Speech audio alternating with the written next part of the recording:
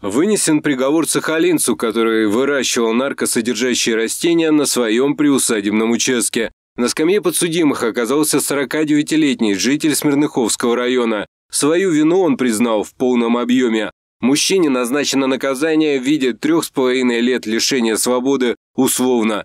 В прокуратуре области также сообщили, что фигуранта лишили водительских прав, так как в ходе медицинского освидетельствования было установлено, что он является потребителем наркотических средств. Это противопоказание к управлению автомобилем.